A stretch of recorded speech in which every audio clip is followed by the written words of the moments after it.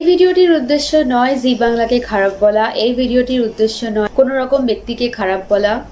Just জনসাধারণের উদ্দেশ্যে জনসচেতনতামূলক বাক্য বলার জন্য এই ভিডিও বানানো আর আমার পার্সোনাল এক্সপিরিয়েন্স শেয়ার করার জন্য এই ভিডিওটি বানানো। দ্যাটস কাউকে কোনো দুঃখ দিয়ে থাকলে সেটা সম্পূর্ণ অনিচ্ছাকৃত। কাকতালিও I don't know hi everyone welcome back to my channel আজকের ভিডিওতে আমি শেয়ার করব আমার মিরাকেল এক্সপিরিয়েন্স মিরাকেল একটি জনপ্রিয় টিভি শো যেটা জি বাংলায় হয়। হ্যাঁ ইদানিংকালে হয়তো হচ্ছে না বাট অনেকগুলো সিজন হয়েছে, তোমরা সবাই হয়তো মিরাকেল সম্পর্কে জানো। তো আমি মিরাকেলে গিয়েছিলাম আমার পুরো এক্সপিরিয়েন্স এবং অফকোর্স প্রথমে বলে রাখি খারাপ এক্সপিরিয়েন্স তো, চলো ভিডিওটা দেখতে থাকো, তাহলে বুঝতে পেরে যাবে যে রিয়েলিটি শোয়ে কেন যাওয়া উচিত নয় literally I mean let's get started first of all আমার দু হাজার নয় আমি গিয়েছিলাম, অর্থাৎ আমি ঠিক যাইনি অডিশন দিতে, আমাদের স্কুলে অডিশন নিতে এসেছি। ওনাদের যারা মেন্টার মেম্বার বা ক্রু মেম্বার বলতে পারো, তাদের মধ্যে একজন স্কুলে অডিশন নিতে এসেছিল। আমার যে কটা জোকস মনে ছিল, আমি ভালোভাবে বলেছিলাম এবং প্রচুর প্রচুর প্রচুর বাচ্চাদের মধ্যে থেকে আমাদের চারজনকে সিলেক্ট করেছিল। আই থিঙ্ক যদ্দূর মনে পড়ছে আমার, মাত্র চারজনকে সিলেক্ট করার পরে আমাদের পরের দিন ডেকেছিল যোধপুর পার্কে ওদের একটা লোকেশানে। তার জন্য আমাদের একটা স্পেশাল ক্যারেক্টার বলে দেওয়া হয়েছিল যেটা আমাদেরকে প্লে করে দেখাতে হতো। আমার ক্যারেক্টারটা যেটা পড়েছিল সেটা ছিল একটা লেডি গুন্ডা বা মস্তানের একটা ক্যারেক্টার আমি আমার মায়ের সাহায্যে এবং কিছু কিছু কবিতার বই বা জোকসের বই দেখে দেখে অনেক খুঁজে খুঁজে একটা পাঁচ মিনিটের সংলাপ বা পাঁচ মিনিটের একটা রোল প্লে এরকম করে নিয়ে আমি বাবার সঙ্গে গিয়েছিলাম। সেখানে সেটা সেকেন্ড রাউন্ড অডিশন হয়। সেকেন্ড রাউন্ড অডিশনে সিলেক্ট হওয়ার পরে মাত্র দুজন ছিল। তারপরে আরও এক রাউন্ড অডিশন হয়, তারপরে অনলি আমি ছিলাম। এখানে বলে রাখি, সেই সিজনে কিন্তু মৃদা ছিলেন না, মৃদুল দা ছিলেন। আর সেই সিজনে আমরা একটা ওয়াইল্ড কার্ড এন্ট্রির মতো করে ঢোকাচ্ছিল। এই সিজনটা না চলছিল, চলার মাঝে ওনাদের মনে হয়েছিল কন্টেস্টেন্ট কম হচ্ছে, আরও শোটাকে খানিক দিন টানতে হবে, সেই কারণে এরকম হঠাৎ করে বড় বড় শহরের ভালো ভালো নামি নামি স্কুল যেগুলো, সেই স্কুলগুলো থেকে ওনারা বাচ্চা কালেক্ট করেছিলেন। বাচ্চাই বলছি সিজনটা ছিল লিটল চ্যাম্পস আমিও খুবই ছোট ছিলাম সেগুলো I think I was twelve okay সেখানে পৌঁছানোর পর আমি দেখতে পেলাম সমস্ত মেন্টাররা দুজন তিনজন করে করে বাচ্চাদের নিয়ে একটা করে গ্রুপ করে করে তাদেরকে হেল্প করছে। এনিওয়ে ফাইনাল ডে চলে এলো, যেদিন প্রত্যেক দিনই ডিরেক্টর থাকতেন শুভঙ্কর দা এবং মানে মেন যে রিহার্সাল চলতো প্লাস চলতো গ্রুমিং গ্রুমিং এর জন্য স্টিলেটো টাইপের কিছু জুতো কিনতে হয়েছিল আই থিঙ্ক এছাড়া হাঁটা, চলা, জামা কাপড়ের মাপ, পায়ের মাপ, সবকিছু আমাদের দেওয়া হয়েছিল। নেক্সট আমাকে আমাকে এভাবে বারবার অডিশন দিতে হয়েছিল। এতে কি হয়, পড়ার একটা প্রচণ্ড ক্ষতি হয়েছে আমার একটা ইউনিক টেস্ট মিস হয়েছিল। বাট অবভিয়াসলি স্কুলের সবাই ভীষণ খুশি হয়েছিল। ম্যামরাও সেজন্য কিছু বলেননি। তো আমার সেখানে কোনো প্রবলেম হয়নি। বাট ফাইনাল এক্সামের জন্য কিন্তু প্রবলেম কীভাবে কি করে মেকআপ দেবো সেসব নিয়ে আমি খুব চিন্তায় ছিলাম। কারণ I was very studious I was not the topper but I was in top of my game always so আমি ওরকম কখনো ক্যারেক্টার দিত, কখনো একটা কুড়ি পাতার বড় বড় একটা করে এপিসোডের সিরিজ বানিয়ে রাখতে হতো। এরকম আই থিঙ্ক আমি ছ থেকে সাতটা এপিসোডের সিরিজ বানিয়েছিলাম। তখন এত ইউটিউব ছিল না, তখন এত বড় স্মার্টফোনও ছিল না। গুগল গুগলে যে দেখব তার জন্য সাইবার ক্যাফে যেতে হতো। আর আমি খুবই ছোট ছিলাম, কিছুই জানতাম না সেসব এরকম। তো খুবই কষ্ট হতো সেসব করতে। আর সবকিছু করার পরেও আস্তে আস্তে কেন জানি না একটা একটা একটা একটা অডিশন উতরে যাচ্ছিলাম। এবার বলে রাখি, ব্যারাকপুরে একটা স্টুডিও মতো ছিল, যেখানে ওদের বড় করে শুটিংটা হয়। নানা রকম সেটের, নানা রকম ফাংশনের জন্য নানা রকম সেট, একটা সেট করে সাজানো থাকতো। আই ডোন্ট নো এখনকার সিচুয়েশন কীরকম হয়, কোথায় শুটিং হয়, আমি কিচ্ছু জানি না। একটা বিশাল হল এরিয়ার মতো জায়গায় সব রকম সেট সাজানো। বিভিন্ন রকম শো এর জন্য সেট সাজানো, একদম ছড়ানো, ছিটানো। ওরা যখন যে শোটা হয়, তার দু ঘণ্টা আগে সেট করে দেয়। মৃদুলদা এসে আমাদের সবার সঙ্গে দেখা করেছিলেন, সেটা একটা আলাদা এক্সপিরিয়েন্স আমার একটা হাসির ঘটনা মনে পড়ছে। একদিন যোধপুর পার্কে অডিশনের পর প্রোডাকশন হাউস থেকে খাবার আসতো। তো খাবার খাওয়ার পরে আমি আমার বাবাকে খুঁজে পাচ্ছি আমার বাবা বাইরে গেছিল। আমি শুভঙ্কর স্যারকে গিয়ে বলেছিলাম, আমার বাবাকে দেখেছেন? উনি বলছে, এরকম ওনার ব্যাগটা রাখা ছিল। ব্যাগটা তুলে বলছে, আমার ব্যাগে তো ঢোকেনি। সো ওনারা সবসময় খুব হাসি, মজা করে কথা বলতেন। স্পেশালি আমরা সবাই বাচ্চা ছিলাম, অর্থাৎ লিটল চ্যাম্পস সিরিজে যা হয়, সবাই ছোট, তো সবার সঙ্গে খুব ফ্রেন্ডলি হয়ে ওনারা মিশতেন। That was an amazing part আর সবার সঙ্গে দেখা হয়েছিল। লাইক আপনারা মেন্টারদের যাদের যাদের দেখতে পান, যারা খুব নতুন সিজনের তারা না, যারা পুরনো season like doctor Krishnendu Sourav Paldi এছাড়া আই কান্ট রিমেম্বার আরও অনেকে ছিলেন। এনিওয়ে এরপর এলো ড্রেস কোড ড্রেস কোড দেওয়া হলো ড্রেস সেই রকম ড্রেস কেনা হলো, জুতো কেনা হলো। আমি যেহেতু বর্ধমানে থাকতাম মানে আমি বর্ধমানের বাড়ি, তো যেতে একটু অসুবিধাই হতো, কারণ কল টাইম থাকতো অনেক সকাল সকাল। অর্থাৎ নটার মধ্যে ওখানে পৌঁছাতে হবে। লাইক প্রথমে হাওড়া, তারপরে বাস, অটো, এসব করে করে লাস্টে পৌঁছাতাম। আমার বেশি জনের নাম একদমই মনে নেই। শিবাঙ্গী বলে একটি মেয়ে ছিল। আমার শুধু তার নামটাই মনে আছে। আরও কিছু ছেলে ছিল যারা খুবই ছোট। Like I think five and half years old I don't know এত ছোট বয়সে তারা কি করে ম্যানেজ করতো বাট তারা ছিল এবার বলব একটা দুঃখের কাহিনী বা অবাক হওয়ার পালা। ওকে সেটা হচ্ছে ফাইনাল যেদিন আমাদের শুটিং ছিল, সেই দিন তার আগের দিন বলে দেওয়া হলো, আজ থেকে তোমাদেরকে এখানে থাকতে হবে অ্যাটলিস্ট নেক্সট কয়েকদিন। তো মোটামুটি জামা কাপড় নিয়ে চলে এসো রেডি হয়। আমরাও সেই মতো গেছি আর আমাদেরকে দিয়ে আমার বাবা চলে গেছিল, আমি আর আমার মা ছিলাম। আর ওদের একটা বড় একটা ক্লাব হাউসের মতো খুব ভালো ব্যবস্থা ছিল থাকা ফাইনাল জাস্ট শুটিং এর আগের দিন একটা final stage makeup stage rehearsal ছিল। খুব ভালো করেছিলাম রিহার্সালে সব একদম স্ক্রিপ্ট মুখস্থ ছিল রেডি ছিল। বাট হঠাৎ করে আমাকে ডাকা হলো এবং আমার মাকে ডেকে আমাদেরকে বলা হলো সরি তোমাকে এই সিজনে রাখতে পারছি না। তোমাকে বড় লাগছে এজে আছে আমাকে বলা হলো, তুমি এতদিন যা যা এপিসোড রেডি করেছ, সেই সবকিছু আমাদেরকে দাও এবার চেক করব। সো আমরা এরকম বাঞ্চ করে করে, দুটো করে করে জেরক্স কপি করে রাখতাম। তো সমস্ত মোটামুটি সাত আটটা এপিসোডের জন্য বাঞ্চ করে রাখা ছিল। সব ওনাদেরকে দিয়ে দিলাম।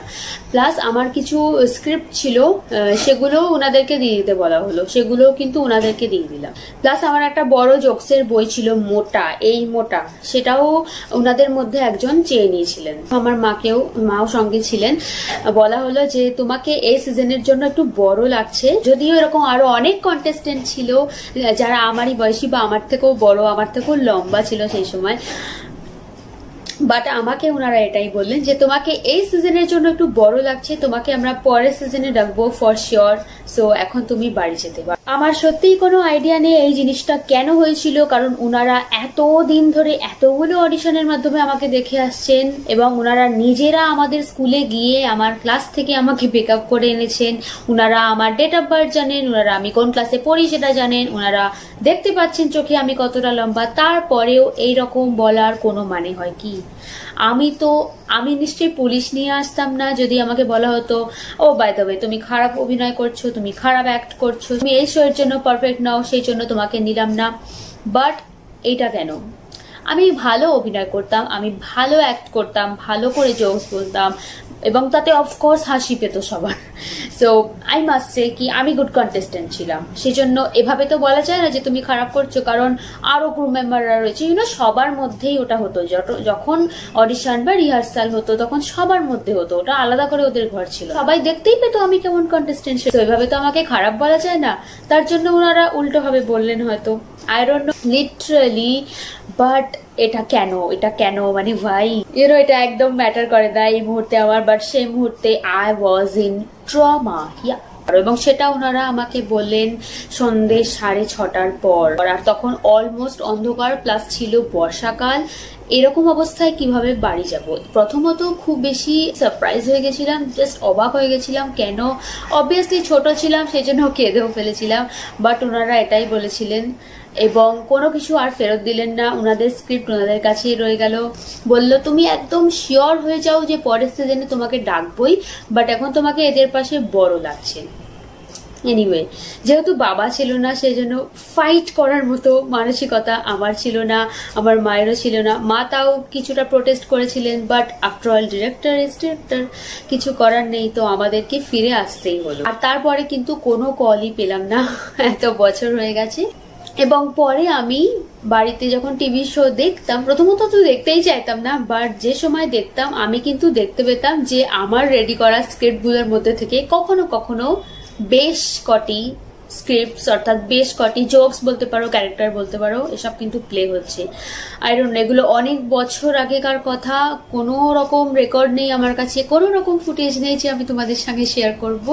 বাট হ্যাঁ এটা মনে হলো, এটা ইউটিউব প্ল্যাটফর্ম আমার নিজের প্ল্যাটফর্ম আমি এখানে শেয়ার করতেই পারি। So that's I am sharing this here এটার পরে একটা হার্ট ব্রেকিং যে আমার হয়ে গেল, একটা ট্রমার মধ্যে চলে এলাম, যাকে বলে, সবাই জেনে গেছিল আমার শুটিং আছে, সবাই জেনে গেছিল, আমি মিরাক্কেলে যাচ্ছি আমাকে টিভিতে দেখানো হবে। বাট শুটিং এর দিনই যে স্ক্যান্ডেলটা হবে we were not ready for it at all so it was a huge trauma for me তার জন্য আমার পড়াশোনা ব্যাঘাত হলো, আমার সে বছর ফাইনালসে খারাপ হলো। খারাপ মিনস আই থিঙ্ক আমি অলমোস্ট এইটটি পার্সেন্ট পেয়েছিলাম, যেখানে আমি সব সময় অ্যারাউন্ড এইটটি ফাইভ অ্যাবাভ থাকে, বা ninety around anyway anyway that doesn't matter but এরকমই হয়। এবং আমি শুনেও ছিলাম, ওখানে যারা ছিল বেশ কিছু ছেলে মেয়ে, তাদের মধ্যে থেকে ফাইনালিস্ট আমি নাম বলব না বাট সে কিন্তু সে বছর ফেল করেছিল। One minute one minute I know তোমাদের এরকম মনে হতেই পারে যে আমি পাইনি বলে আমি খারাপ বলছি বাট সত্যি এরকম কোনো ব্যাপার নয়। পরে বেশ দু তিন বছর ধরে আমার মনে হতো, খারাপ খারাপ, আমি পাইনি, আমি পেলাম না। পরে গিয়ে আমি রিয়েলাইজ করলাম যে এটা রিয়েলিটি শো কিন্তু বাচ্চাদের মধ্যে একটা বিশাল বড় ইম্প্যাক্ট ফেলে। কারণ যেতে কজন? একজন অবভিয়াসলি বা আমরা বড়জোর ফার্স্ট বা সেকেন্ড রানার আপকে মনে রাখি। তারপরে কি আমরা সত্যিই কাউকে মনে রাখি? বাট অনেকগুলো বাচ্চার একটা বছর নষ্ট হয় বা আই থিঙ্ক পড়াশোনায় অনেকটা বেশি ল্যাগিং হয়ে যায়। আর পড়াশোনায় যখনই ল্যাগিং হয়ে যায়, তখন কিন্তু সেটা রিকভারি করা সবার পক্ষে পসিবল কিন্তু হয়ে ওঠে না। কারণ ইউনো সব সিলেবাস পরপর বছরগুলো রিলেটেড থাকে। স্পেশালি বলব ম্যাথস খুব বেশি রিলেটেড থাকে, বাকিগুলো তবুও মেকআপ দেওয়া যায়। সো অনেক রকম প্রবলেম হয় প্লাস বাচ্চারা একটা ট্রমার মধ্যে দিয়ে যায়। এবং বাচ্চাদের জন্য ট্রমা কিন্তু একদমই ভালো না। যেটা অবশ্যই বলব, যেটা আজকালকার বাচ্চাদের কিন্তু সমস্যা হয়ে গেছে, তাদের কিন্তু মারা বকাও খুব বেশি যায় না। আমি তাও মার খেয়ে মানুষ হয়েছি। স্কুলে নয় বাট বাড়িতে। তবুও আজকালকার বাচ্চারা খুব বেশি বেশি ইমোশনাল তারা কোন রকম ট্রমা সহ্য করতে পারে না। স্পেশালি আমরা নিউজে পেপারে অনেক সময় যেগুলো দেখে থাকি। তো রিয়ালিটি শোয়ে কিন্তু বাচ্চাদের জন্য অনেক বেশি ইম্প্যাক্ট ফলে। তো যদি তোমাদের বাড়ির কেউ যেতে চায়, খুব ভালো করে ভেবে দেখো। আমি বলছি না যে না, খুব খারাপ। তাহলে কি কেউ কি যাবে না? যে অডিশন পাশের ক্লাবে এলে সবাই যাবে দৌড়ে। বাট অবশ্যই খুব ভেবে দেখা উচিত ইউনো একদিনের গেম শো হলে সেটা অবভিয়াসলি আলাদা ব্যাপার but it's a long term সে তোমাকে ওখানে থাকতে হবে, তোমাকে সম্পূর্ণ সময় দিতে হবে। প্লাস তোমার বাড়ির লোককে, আমার আমার বাবা দোকান বন্ধ করে আমার সঙ্গে গিয়ে কতদিন যে কাটিয়েছে।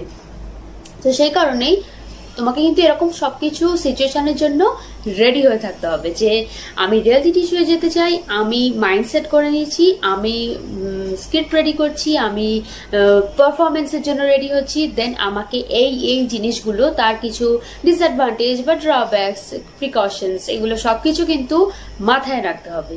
Special thanks to my family friends and you know পাড়ার লোক ব্যাচের বন্ধুরা আমার টিচার্সরা যারা আমাকে এত বেশি সম্মান দিয়েছে, যেন আমি জিতে এসেছি।